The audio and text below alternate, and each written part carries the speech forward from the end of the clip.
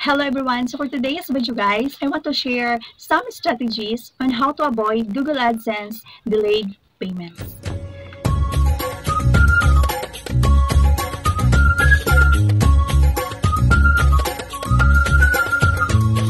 Delayed payments from Google AdSense can be frustrating of course, especially if you needed money.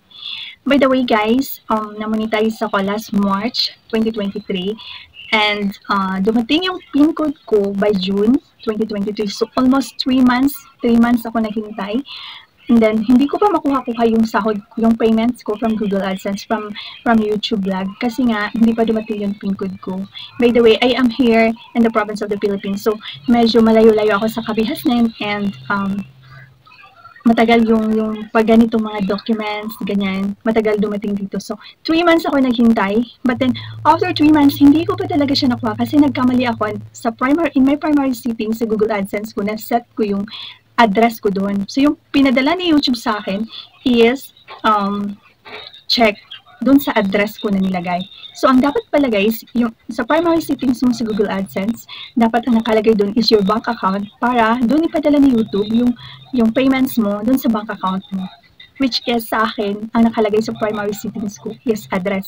So, ang nangyari, pinadala, nagpadala pa si YouTube sa akin ng check, which is alam ko namang maghintay pa ako ng matagal. For almost 3 months akong naghintay na naman kasi nga yun, matagal dumating ang mga ganitong documents dito sa amin. So, by June 25, dun nung na-enter ko yung PIN code ko sa Google AdSense account ko, naghintay ako na, kakarating lang to guys, um, this October. So, uh, June, July, August, September, almost 3 months, almost 4 months na bago dumating yung check. But actually, na nahanapan ko naman siya ng other way para makuha ko yung payments ko. First payments ko to guys.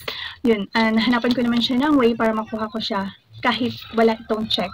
So, pero, uh, pero naghintay pa ako ng 60 days para ma-reissue, para ma-reissue ni, ni Google yung payments ko. So, ang tagal na monetize ako from March, na-receive ko yung PIN, is June, and after ko na-receive yung PIN, hindi ko pa talaga siya nakuha kasi nga nagkamali ako sa primary settings ko.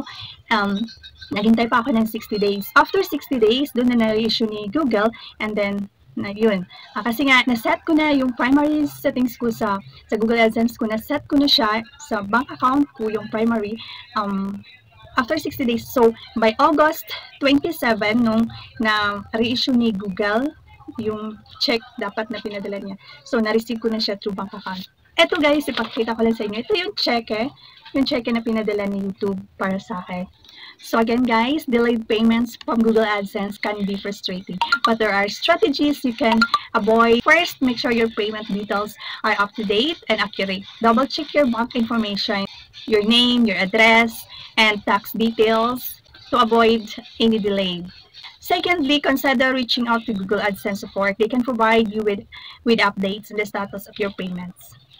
So, uh, kailangan mo lang talagang makipag, makipag-communicate kay Google AdSense para mapadali yung payments. And after nung na, na-set ko na siya sa primary, yung bank account ko nakaset na sa primary. So, every month, nakatanggap na ako ng sahod. Basta, makuha ko lang yung requirements ni YouTube na $100. So, kasi nagsasahod sila every 21st in the month. So, pag nakarating ka ng $100, by that time, automatic na ipapadala nila through my bank account.